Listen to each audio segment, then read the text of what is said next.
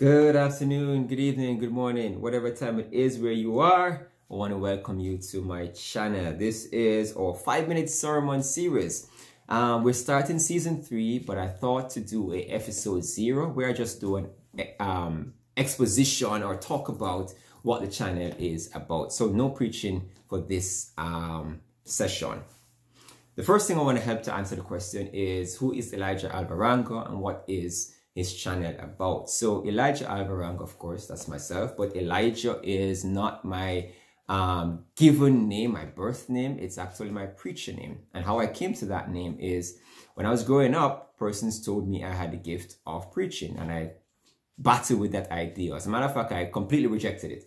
Um, I took some time because I was struggling, struggling, struggling and saying, no, no, no, no. Maybe it was because I'm very, very shy for the most part. I tend not to raise my hand to go and speak. Um, and so I battled with that whole idea. Eventually, I decided, okay, I'll go and pray about it. If everyone is so convinced, let me at least go to God and ask Him about this. So I asked Him about it. You know, have you given me this gift? Should I go and preach? Should I actually um, take steps to learn and, and, and, and, and use the opportunities that have been given to me to preach? And one, he confirmed that yes, he has given me the gift. And then I asked him, okay, fine, if you've given me this gift, what do you want me to preach? What should my message be about? And he told me then that I should preach Elijah message. Took me some time to research what that meant. But long story short, it pretty much means that every single time I deliver a message, I must give persons a opportunity to make a decisions. That's just it. You need to make a decision um, I must lift up Jesus and then allow you to choose. Kind of similar to what Elijah did on Mount Carmel. Now, the Elijah message is also a message of reformation. So it never leaves you where you are. It comes and it points out the things that you need to change. It lifts Jesus up. It lets you know that Jesus has the ability to change these things. And it puts you in a position that you need to make a choice that you would allow Christ to reform or to change you. Why five minutes?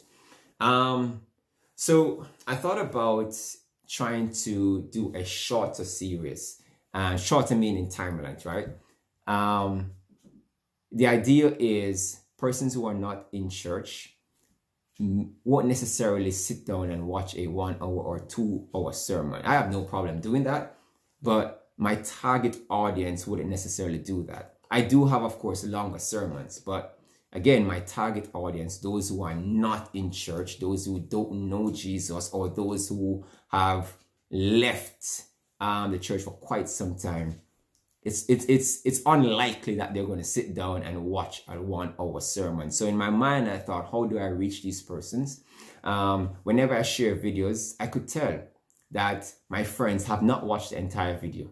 I could tell that they only watched just a, uh, um, the first, you know, couple minutes of it, and then they say, oh, you know, and if you ask them about the video, they can only tell you about those first couple minutes, or they skip through very quickly.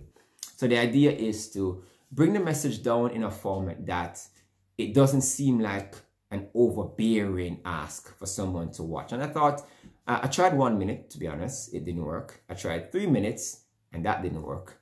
And so five minutes is that period that I think is, at least to the best of my ability, I have the opportunity to deliver sufficient information to give you something, meat to chew on.